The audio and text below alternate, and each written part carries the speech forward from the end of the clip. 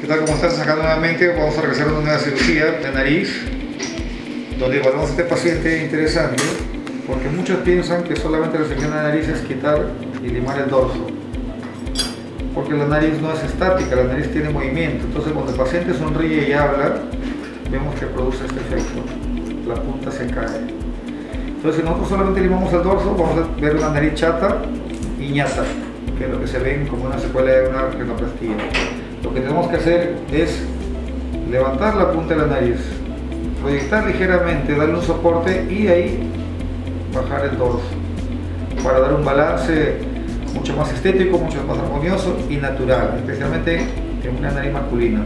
Aquí tiene una depresión, está hundida, la, nariz no tiene soporte, miren cómo se hunde. Entonces debemos dar esa, esa estructura para que la nariz se mantenga firme, elegante, estética y con dorso recto. Ok, aquí estamos ya finalizando la cirugía. Vamos a ver qué es lo que hemos conseguido en esta nariz. Si recuerdan, cómo tiene el dorso. Ahora vemos que el dorso está recto.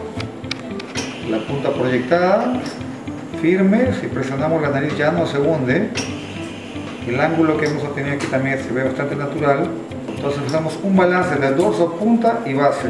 Siempre tiene que ser así para que la nariz se vea natural, que no se note que está operada y en este paciente pues una nariz bastante varonil.